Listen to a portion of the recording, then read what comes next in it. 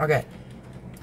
In today's video, I'm going to be showing you how to make another computer because the other version is really outdated and there have been two versions or updated versions of my computer since then. So I'm just going to run you through how to import it into your game one more time. So first thing you're to want to do, join my Discord, link in the description, go to the all-in-one computer tab, then it should just be this one right here, another updated version. Um, just download it, go back to your thing, go to your models folder or wherever you have your, you know, things, right click, import package, custom package, and import the all-in-one computer. Then it should be like right there. All you have to do is drag it in. It should show up like uh, uh, it'll show up somewhere.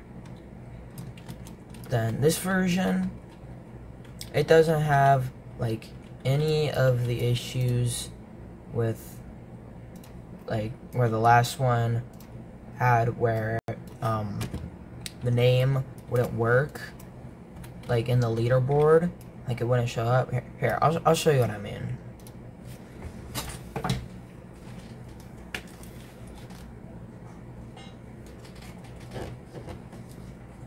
so basically last time whenever you went down whenever oh yeah by the way that happens. If you go down it goes to the code tab and there's like two tabs. All you have to do is go up to the top to resync them then go down. If you want to avoid this problem just go up every time. There's no way to fix this so I'm probably this is probably the last version I'm gonna make.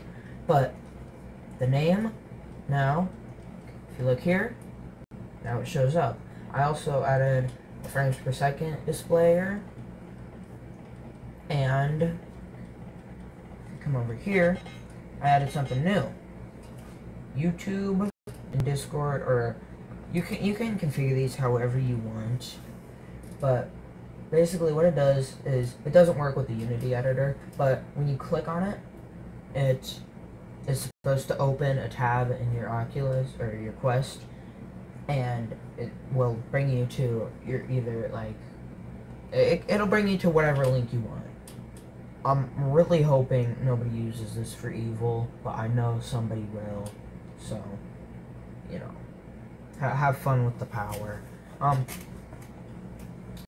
yeah, it's it, it, took like forever to figure out how to fix this.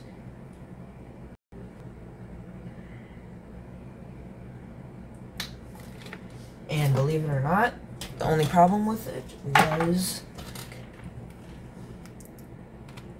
I had all the name stuff still on the leaderboard because I just copied over the keyboards. So, back to this.